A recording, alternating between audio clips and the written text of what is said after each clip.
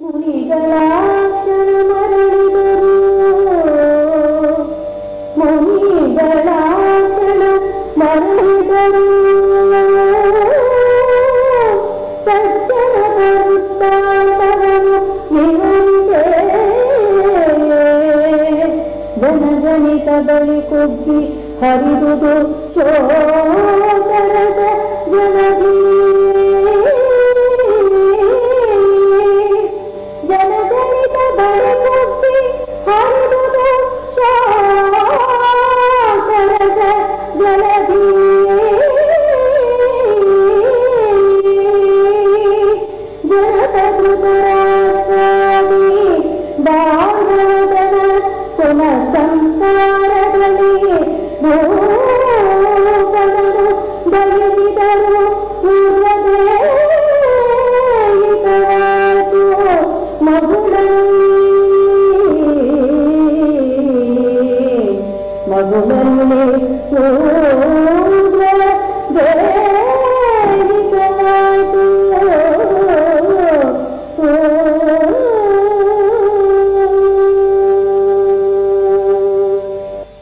ಕ್ಷಣೇನ ಅಂತರ್ಹಿತ ಸರ್ವೇ.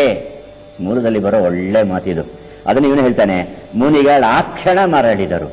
ಅವ್ರಿಗೆ ಎಂತ ಅವಸರ ಇತ್ತು ಗೊತ್ತಾ?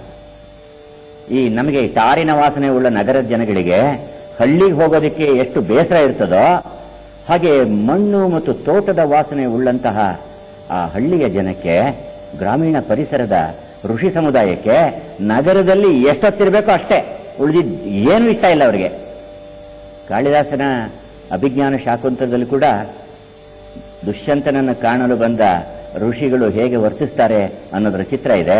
ಯಾವ ಕಾಲದಲ್ಲೂ ಕೂಡ ಶಾಂತಿಯನ್ನ ಬಯಸುವ, ಮನಸ್ಸಿನ ವಿವೇಕವನ್ನ ಕಳೆದುಕೊಳ್ಳಲು ಅವಕಾಶವಿಲ್ಲದ ಸಮಾಹಿತ ಪ್ರದೇಶದಲ್ಲಿ ಇರ ಬಯಸುವ ಜನ ನಗರದ ಗೊಂದಲವನ್ನ ಆನೆ ಕಾಲಿಗೆ ಕಟ್ಟಿದಂತೆ ನಮ್ಮನ್ನ ಗಡಿಯಾರದ ಕಾಲಿಗೆ ಕಟ್ಟುವ ಈ ವಿಪರೀತದ ಕಾರ್ಯಗಳಿಂದ ಕೂಡಿದ ನಗರ ಜೀವನವನ್ನ, ಗದ್ದಲದ ಜೀವನವನ್ನು ಒಪ್ತಾ ಇರಲಿಲ್ಲ ಅವರು.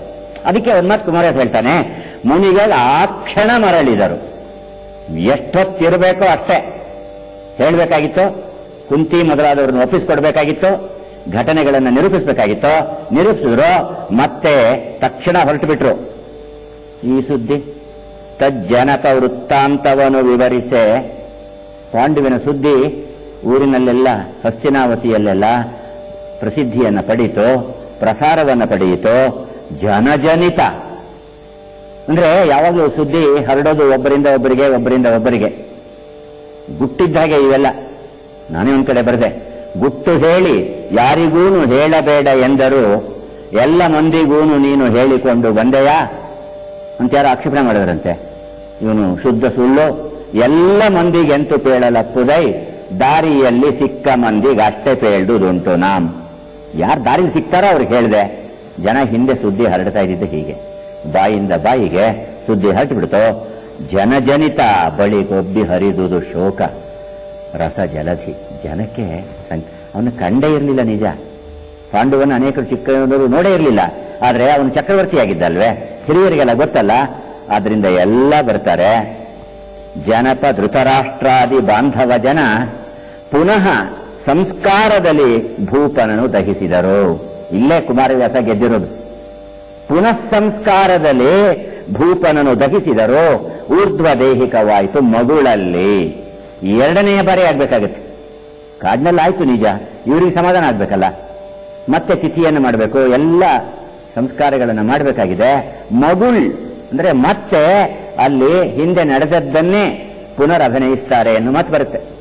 ಮೂಲದಲ್ಲಿರುವ ತೊಡಕನ್ನ ನಾನು ನಿನ್ನೆ ಪ್ರಸ್ತಾವಿಸಿದ್ದೆ. ಅಲ್ಲೇನ್ ಬರ್ತದೆ ಮೂಲದಲ್ಲಿ ಅಂದ್ರೆ ಅವ್ರನ್ನ ಸುಟ್ಟು ಬಿಟ್ರು ಇಬ್ರು ಒಟ್ಟಿಗೆ ಅನ್ನೋ ಮಾತು ಬರ್ತದೆ. ಆಮೇಲೆ ಋಷಿಗಳೆಲ್ಲ ಬಂದ ಸಂಗತಿ ಅನೇಕ ಅಧ್ಯಾಯಗಳಲ್ಲಿ ಬರ್ತದೆ. ನಗರಗಳನ್ನ, ಊರುಗಳನ್ನು ನೋಡ್ಕೊಂಡು ಬಂದಿದ್ದೆಲ್ಲ ಹದಿನೈದು ಅಧ್ಯಾಯಗಳಲ್ಲಿ ಬರ್ತದೆ. ಆಮೇಲೆ ಅವನು ಮರೆತು ಬಿಟ್ಟಿದ್ದಾನೆ. ವ್ಯಾಸರ ಭಾರತದಲ್ಲೇ ಏನ್ ಬರ್ತದೆ ಅಂದ್ರೆ ಅವರಿಬ್ಬರ ದೇಹವನ್ನ ಹಸ್ತಿನಾವತಿಗೆ ತಂದ್ರು. ಅಲ್ಲಿ ಅದನ್ನ ಪ್ರದರ್ಶನಕ್ಕೆ ಅರಮನೆಯ ಒಂದು ಸೊಗಸಾದ ಎತ್ತರದ ಭಾಗದಲ್ಲಿ ಇಟ್ರು. ಊರಿನವರೆಲ್ಲ ಬಂದು ನೋಡ್ಕೊಂಡು ಹೋದ್ರು. ಅಷ್ಟೇ ಅಲ್ಲ, ಅದ್ರ ಮೇಲೆ ಇನ್ನು ಕ್ಲಿಂಚಿಂಗ್ ಎವಿಡೆನ್ಸ್ ಅಂತೀವಲ್ಲ. ಹಾಗೆ, ಆ, ಇಬ್ಬರ ಮುಖ್ಯವಾಗಿ ರಾಜನ ಮುಖ, ಪಾಂಡುವಿನ ಮುಖ, ಅದು ಕಳೆ ಬರದಂತೆ ಇರಲಿಲ್ಲ, ಸತ್ತಂತೆ ಇರಲಿಲ್ಲ. ಅವನು ನಿಜವಾಗಿಯೂ ನಗುತ್ತಾ ಇದ್ದಾನೋ, ಜೀವಂತವಾಗಿದ್ದಾನೋ ಅನ್ನುವಂತೆ ಇತ್ತು. ಆಮೇಲೆ ಊರ್ಧ್ವ ದೇಹವನ್ನು ಮಾಡಿದರು ಅಂತ ಹೇಳ್ತಾರೆ. ಮೊದಲಲ್ಲಿ ಅಲ್ಲೇ ಸುಟ್ರು ಅನ್ನೋ ಮಾತು ಬರ್ತದೆ. ಮತ್ತೆ ಇಲ್ಲಿ ದೇಹವನ್ನು ತಂದ್ರು ಅನ್ನೋ ಮಾತು ಬರ್ತದೆ. ಈ ವಿಸಂಗತಿಯನ್ನ ಹೋಗಲಾಡಿಸಿದ್ದಾನೆ. ಇಲ್ಲಿ ಅದಕ್ಕೆ ಏನ್ ಮಾಡಿದ್ದಾನೆ ಅಂದ್ರೆ ಅಲ್ಲಿ ನಿಜವಾಗಿ ಊರ್ಧ್ವ ದೇಹಿಕ ನಡೆದಿತ್ತು, ಇಲ್ಲಿ ಮಗುಳ್ ಮತ್ತೊಮ್ಮೆ ತಮ್ಮ ಮನಸ್ಸಂತೋಷಕ್ಕಾಗಿ, ತಮ್ಮ ವಂಶದಂತಾನೆ ಅವನು. ಆದ್ರಿಂದ ಭೀಷ್ಮ ಇವನ್ನೆಲ್ಲ ವೈದಿಕ ವಿಧಾನದಲ್ಲಿ ಮಾಡಿಸಿದ ಅಂತ ಹೇಳ್ತಾನೆ. ಹೀಗೆ ಮೂಲ ಭಾರತದಲ್ಲಿ ಬಂದಿರುವ ಒಂದು ಸಣ್ಣ ತೊಡಕನ್ನ ಇಲ್ಲಿ ಕುಮಾರವ್ಯಾಸ ಸೊಗಸಾಗಿ ಅವನು ನಿರ್ವಹಿಸಿದ್ದಾನೆ. भीष्मसुतराशरनुभोजिनीशोकच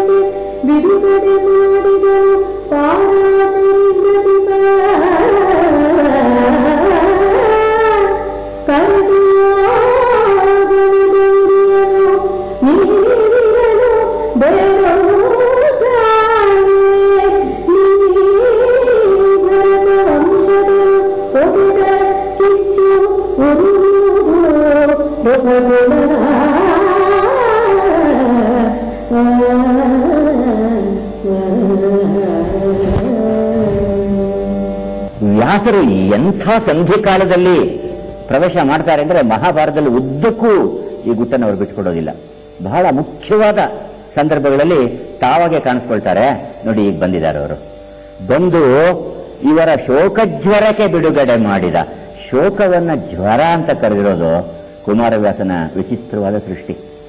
ಶೋಕವೆಂಬ ಜ್ವರಕ್ಕೆ ಬಿಡುಗಡೆಯನ್ನ ಮಾಡ್ತಾನೆ ಪಾರಾಶರಿ ವ್ರತಿಪ ಪರಾಶರ ಮುನಿಗಳ ಮಗ ವ್ಯಾಸ.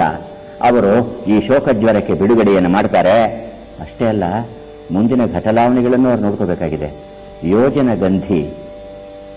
ಅವರನ್ನು ಕರೆದು, ನೋಡಮ್ಮ, ಅಷ್ಟು ವಯಸ್ಸಾಗಿದೆ. ಆಕೆ ಅರಮನೆಯಲ್ಲೇ ಇದ್ದಾಳಲ್ಲ. ನೀನು ಇಲ್ಲಿ ಇರೋದು ಒಳ್ಳೆಯದಲ್ಲ ಯಾಕೆಂದ್ರೆ ನಿನ್ ಕಂಡ ನೋಡಕ್ಕಾಗಲ್ಲ ಮುಂದಿನ ಘಟನೆಯನ್ನ.